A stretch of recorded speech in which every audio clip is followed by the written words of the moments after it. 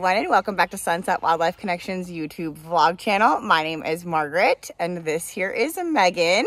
You're gonna smell me? Hi, you good girl.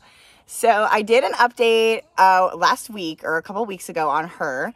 So I said in that video, I asked if you guys wanted to see her training into the shift. So we have to shift her whenever we clean her. So I asked you guys if you wanted that. doing? but I asked if you guys wanted to see that process and some of you did. So I filmed, today I am filming on a Saturday and I have done the last four days, five days of her shifting.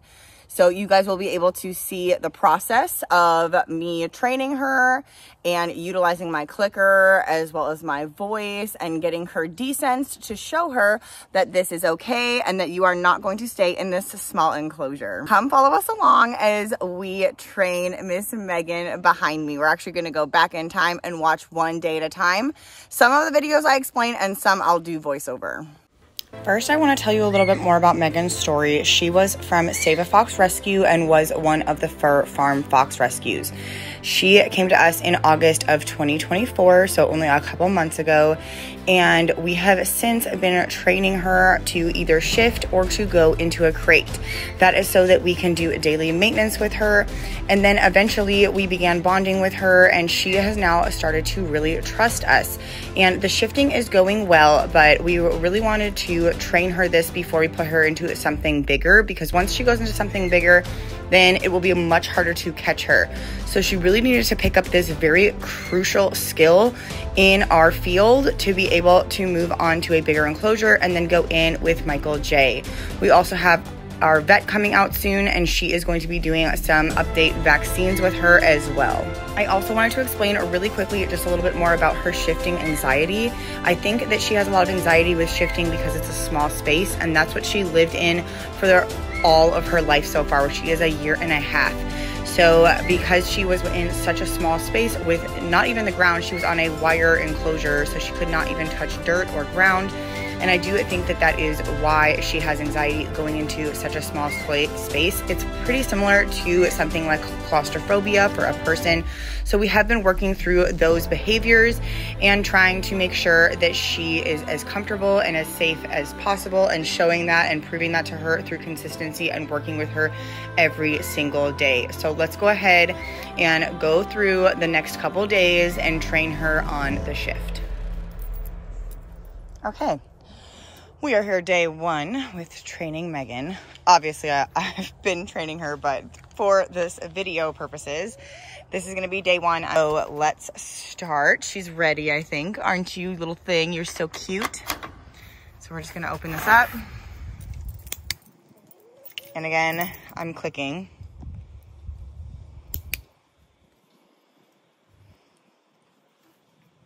I'm gonna take a couple steps back just like I did in the last video. Good girl, mama. You're a good girl. So you can see that nerves trying to maybe like jump backwards. Good girl. And I have locked her in since the video that you guys saw recently. Since that last update, I actually have locked her into the shift. Um, because she's going back and forth today, I don't think I'm going to do that today. But we are going to work the shift a little bit. So we're like I'm gonna touch it a little, see how it's moving. Good girl, you are so smart. That's a good girl. Very nice. She hates the sound of the lock. See? She hates the sound of the lock. Good girl. So doing these things, I'm obviously like not even doing anything, but whenever she spooks at anything, I try to work that out of her. So I don't think she likes it, honestly, when I talk, but it's a good thing to keep talking through it so that she can work through those anxieties that she has. So this is actually like really important work. I don't want anybody to think that, again, we're doing anything that she, I'm going to like forcibly make her uncomfortable or anything like that. But I do want to desense her to the right movements and the right training so that, again, here we're going to touch the lock again. And she came back out, but that's important. I need to do those things so that she knows that that noise doesn't mean anything. It just means that I'm coming in. Like, that's it. Good girl. See, I just touched it and she didn't even go all the way out. That's great. That's what we're looking for. Good girl. See, this is progress. Just this little bit. I know it doesn't seem like very much. And obviously, you can see there's like poop everywhere. I haven't gone in and cleaned yet. But I just want to explain to you guys that this is part of the process. It's just little steps every single day to show her that she is never going to stay in this small of an enclosure. This is just temporary so that we can go in and we can clean you and be able to move in and out fluidly. You guys saw in my last update that I was in there cleaning with her and I don't ideally want to do that. What I ideally want to do is actually shift her just like I do with Michael J. Go in, clean. There's kind of a time and place to be in there with them because you could see she's running around. Me being in there with her also is stressing her out. Good girl, mama. And then once she really gets this down and gets crating down really good, then at that point, I will start actually training her like trick training like I do with Michael J, where he does a paw and a target and he does other behaviors. But for now, this is a part of the process of training. Good girl, momsies. Just gonna touch this again. Good, she's barely even reacting. I think she took her a minute. Uh, she reacted a little late. Good girl. Good. That's a good girl. You can see I'm moving it. She's looking at it. Good girl. I'm going to touch the lock now. Good job. You guys, this is just progress in one training session that you guys are watching right now. So I'm going to go in and clean and stop working the shift now. I think that that was enough. We did get a lot of progress. Tomorrow, we'll try to close her in clean really quick. Right now I'm going to do a deep clean again like what you guys saw in the video. So it takes a little bit more time to do the deep clean and she'd have to be in here longer. Tomorrow when I just go in and spot clean, it goes faster. So I want her to be able to be comfortable. But at the same time, I don't want to actually lock her in for too long, which is why, again, I'm not going to lock her in today. I will do that probably tomorrow or even the next day, depending on how she does tomorrow. We'll just talk about it.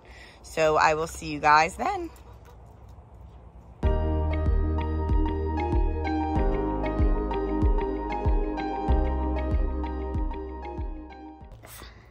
Okay, we're gonna do day two of training Megan in the shift. I'm gonna try to close her in today, but we're just gonna see how she does. She's pretty hungry and it's really hot today, so we're just gonna have to see behaviorally how she is. I'm gonna step back.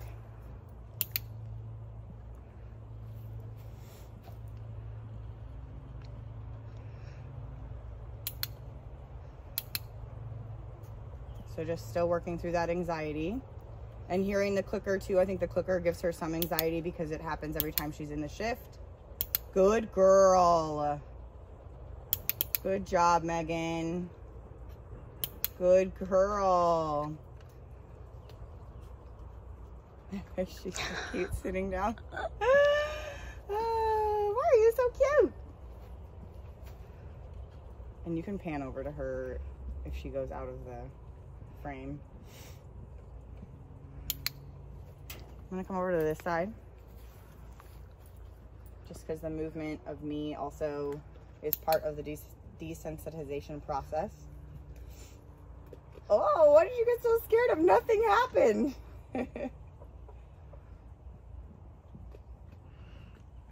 Sometimes when she grabs a piece and runs out with it, she'll drop a couple pieces of dog food on the ground. And so that's what she's cleaning up right now. Good girl, Megan. So you can see I'm not touching the lock. Like yesterday, I was touching the lock more. I was touching the shift more. But because she's spooking so bad, I'm not going to touch those things because she's already spooking at nothing. So I'm not going to purposely scare her when she's already spooking at nothing. If she was more confident and she was in there eating. And again, we talked about it yesterday too, where me talking sometimes already that can be overstimulating. Still clicking her when she enters and then still clicking her when she eats. Good girl. Reinforcing her more because she's actually eating in the shift. Good girl. And she didn't actually run out of the shift. I'm going to touch it now just so she sees it. Good girl. Good. I don't think she saw it there for a while. And then when she did realize I was touching it, she came out. But she didn't dart out. She just kind of moved out. So we're getting some progress just today. This is what I'm talking about where it's like two steps forward and one step back. Good girl, Megan. Good girl. Good job. I'm gonna touch the shift again. Good girl. Reinforced her for looking back at the shift and staying. Good girl, Megan. Now, I didn't click her for that one, though, because she still exited. I still gave her a verbal reinforcement, but not the clicker as a reinforcement. Good girl. Someone's calling me.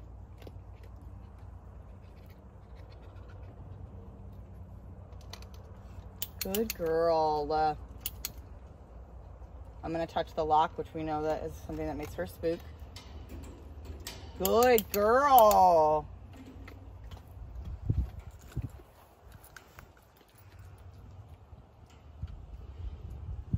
That was actually really good. She actually didn't spook very much at the lock at all, which is not normal. She usually spooks at it a lot. She'll like dart when she hears it. So that was actually really good. She smells her enrichment that's still out here. I'm to start to unlock her thing because again, that also is more of a trigger for her. Good girl. Good girl. You did a good job. So I'm probably to do the same thing that I did yesterday where I'm not to actually lock her in. We're just going to let her eat. I'm to go in and clean her. I won't be as long as I was yesterday because yesterday was her deep clean. But today I will be a little bit quicker, but I'm still not to lock her in just because she was real spooked still. Hopefully tomorrow will be better. You know, the goal would be by the end of the week to try to lock her back in and then her getting that experience of going in and coming back out. Good job, Megan. Hey, girl. Okay, we are on day three. I've already gone in. Today's Halloween, so she's getting a pumpkin for enrichment. But I've already changed her water just because I already had the water running. And I was like, I'm just to run in there and change it real quick. But we've got her food in there, so let's get her shifted.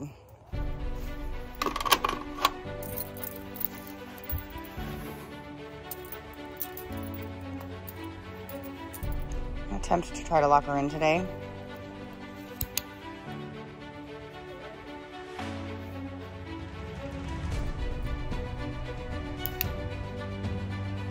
Good girl. That's a good girl. Oh, she got a shrimp. She's never had shrimp, I don't think. You like that? What do you think that that is? A little shrimp? You're gonna leave it. I don't need shrimp. I don't need shrimp. Good girl, mama. Okay, guys, I'm gonna close it. Good girl. Lock her in. Okay, we're just gonna hover here for just a second just kind of watch her behavior. I want to click her for sure when she eats.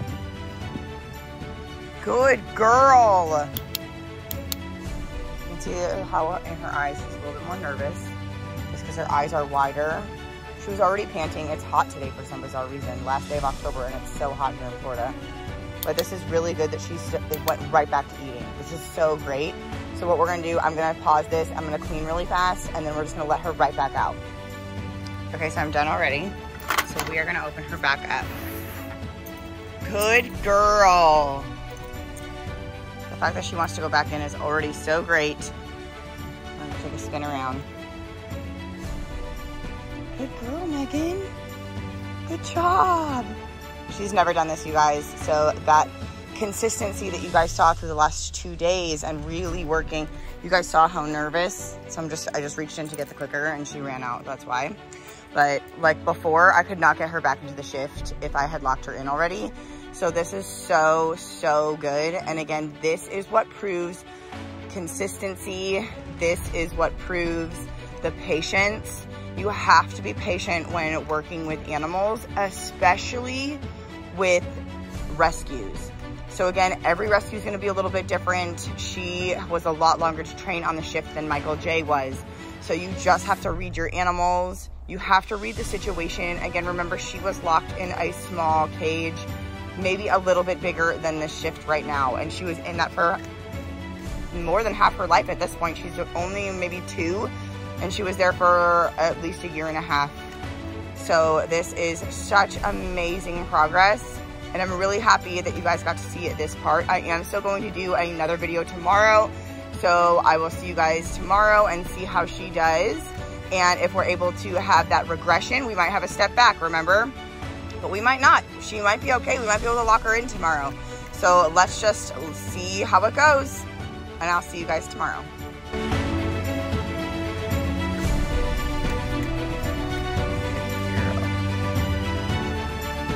Smart smart girl. Mm-hmm. Good girl, mommy.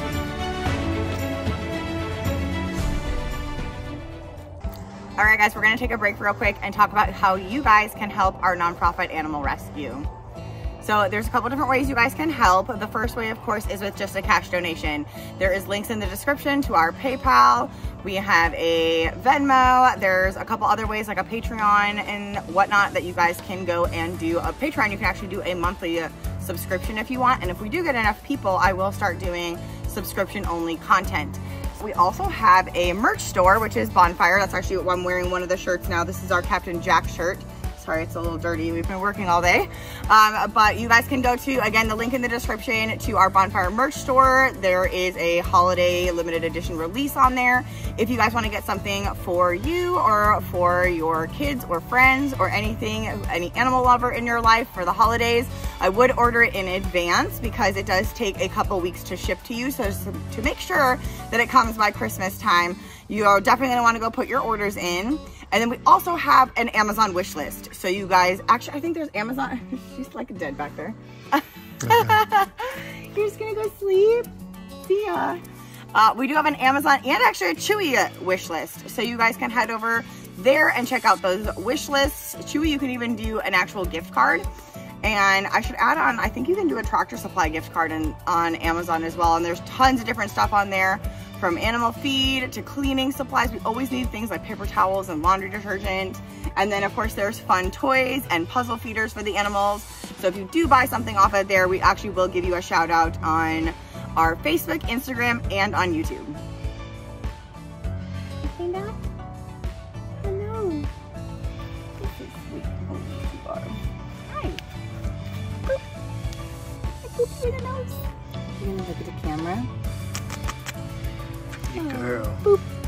I You're got such you. a pretty girl. I got you. Okay.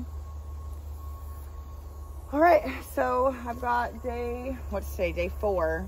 So day four, I did lock her in yesterday, so we're gonna see if she does go in. I have split her diet. I put more of the high value items in the shift, meaning like the stuff that she likes a lot. So like the chicken and things like that. So we're gonna try to shift her, and I do need a deep clean, so I would love to actually close her in, but we'll just have to see how she does. So she's a little hesitant.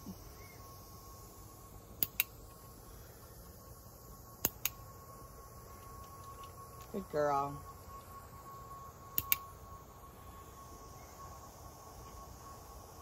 So she picked up the uh, the chicken neck first which I don't think she's ever had that. And there is bone in it. It's very soft bone. It's actually very good for their teeth. I don't know if I can, can, can you see her actually chewing it? Yeah. Yeah. So that was a different protein item. If I would have remembered that, I probably would have pulled it out. But it, either way, that still was a good reinforcement for her. what are you doing? Uh, good girl. So she's definitely a little bit more hesitant, but much more forgiving than she was like on Monday or even on the video that I posted, the update recently. She's still less hesitant even after me closing her in yesterday. So we're just going to try to close her. We're going to push her a little bit because I really want to get her over there and want to get her training. So we're gonna, you know, do a little, this was like a little boot camp this week. Good girl. She's spooked, but she's still okay. She finished eating. Good girl. She's going right back to the food, which is absolutely great. That's what we wanted. Good girl. Good job. So I'm gonna go deep clean, but I'm gonna have Allie's filming right now, one of my interns. Um, I'm just gonna have her focus on her and then I'll be able to do some voiceover on some of the behaviors that I see from her. So I'm gonna try and clean her as quick as I can and then I will do some voiceover for you guys.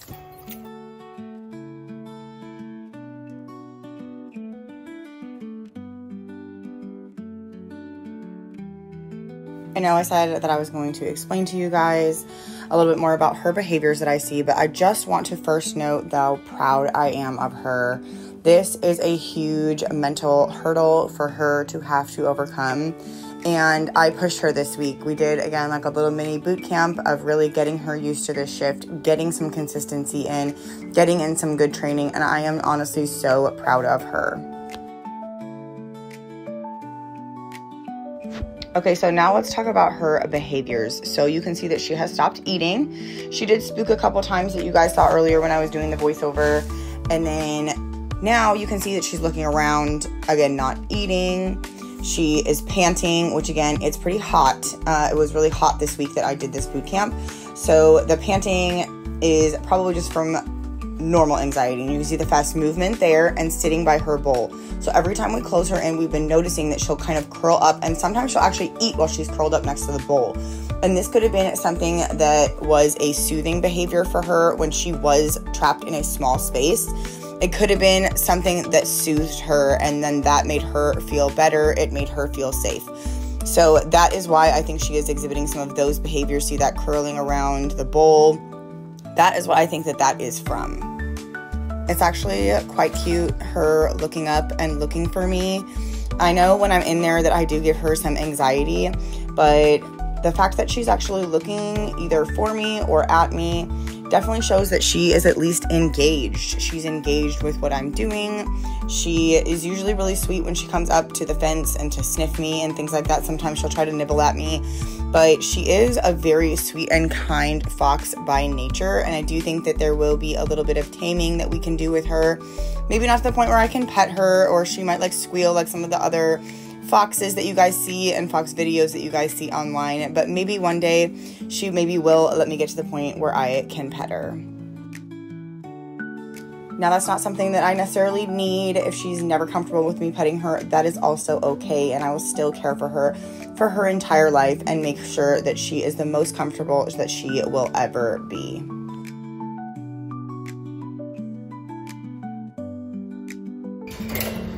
All right, so I'm done gonna shift her back onto exhibit. And then she won't have access to here again and I'll pull out the rest of that food and give it to her in her house.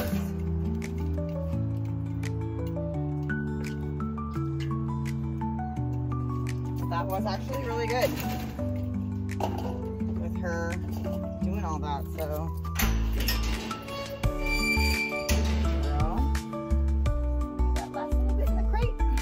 I want to put it in the crate because I am going to crate train her next. So the next big thing. And she's pretty well crate trained for now. She's pretty comfortable in there. But I really want to work it so that we can get her crate trained and then move her over whenever we put her in with Michael J. It's also super important being here in Florida with the hurricanes. I don't think we're going to get any more hurricanes, knock on wood, but um, it is really important that all of our outside animals know how to crate train because that would be a time that we'd have to crate everybody and bring them in. Looking for it, how to get it.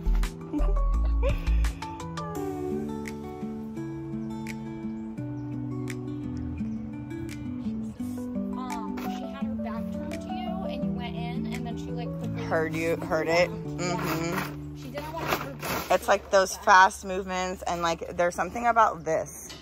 Like the noise of like the metal that freaks her out too. But that was a really good day. We'll see how she does tomorrow. I'll probably do like my intro outro tomorrow for you guys, but she did do a really good job. She's being cute now with her enrichment, trying to figure it out. So now we just have to film you because you're cute. For no other purposes than that. Than you just being cute. How are you gonna get in there? She's so frustrated. Good girl. Use your nose and your brain. She's like, ugh. This is where it is though. She's so silly. She's like, can't figure out how to open it.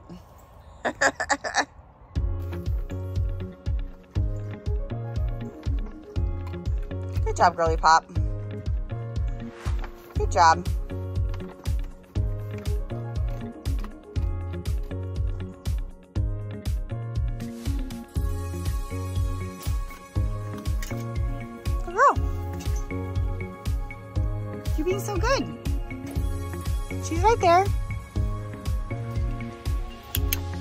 Girl. I really just want to say again how proud I am of her and fighting through her mental hurdles. It's really inspiring sometimes working with rescues and the way that they respond to certain environments and how resilient animals are. It is truly inspirational, and animals inspire me to become a better person literally every single day. Your eyes are a little wide. You listening? Look a girl.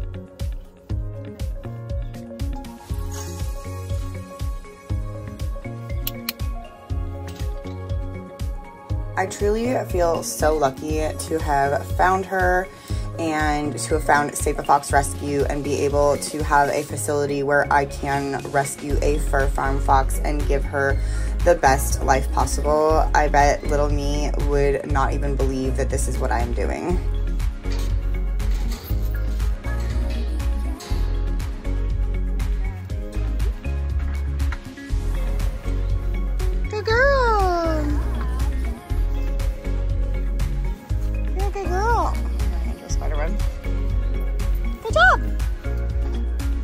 Job.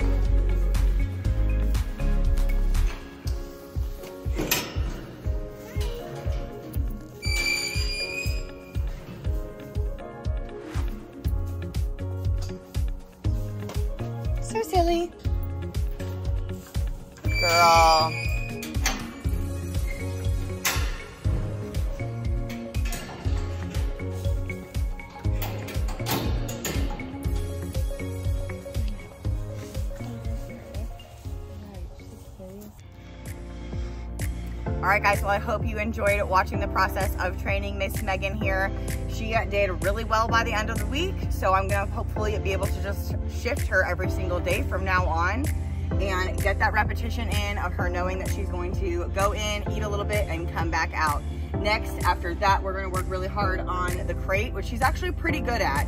But once we have that, we get with our vet, we're gonna get her loaded up and put over with Michael J. So the next video you guys will see with her will be when the vet is here. So make sure you guys are liking, commenting, and subscribing to our channel. Make sure that your notifications are turned on. Hit that bell button so that you guys can get notified whenever we do post that vet video as well. You guys are not gonna wanna miss the introduction between her and Michael J. So I will see you guys next time. Bye. Whoa, you're so.